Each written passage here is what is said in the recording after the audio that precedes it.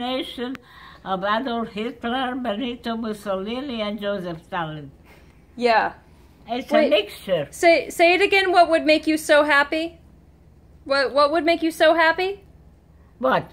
You you just said, tell me again.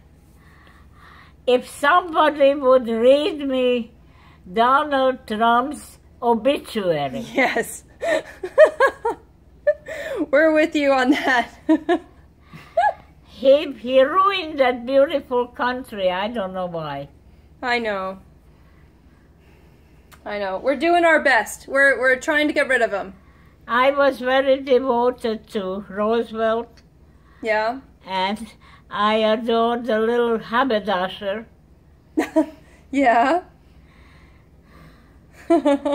And I thought Lincoln was remarkable. yes. So they built a beautiful country. And the son of a gun really ruined it. Well, we're we're doing our best. We're we're trying to make it right. Do you think we have a chance? I think we do. We're trying really hard.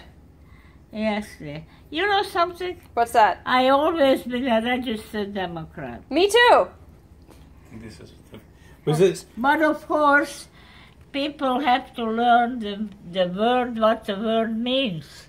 Over and over. Democracy, because Over and over again. not everybody knows it. Yep.